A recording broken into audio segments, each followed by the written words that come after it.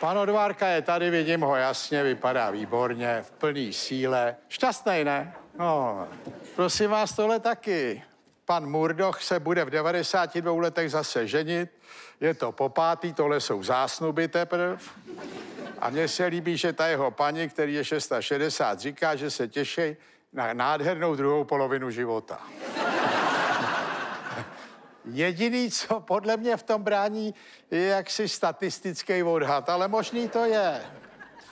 No, dyslektici by neměli být nuceni chodit do práce včas, zastal se Brita soud. No tak je otázka to, já bych se možná sám označil taky hned za dyslektika, to nevím, jestli je správný. Gambler odmítá zaplatit dluh 16 milionů, kasíno ho prý nechalo opít se do němoty. On to bere jako zločin. Můj řísek je studený, útočil muž v Brně na prodavačku z oddělení studené kuchyně. Jsi být šťastný, člověče.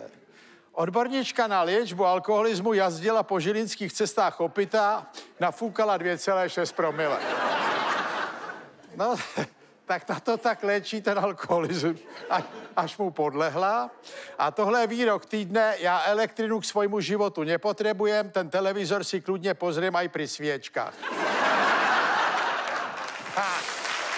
To bylo všechno.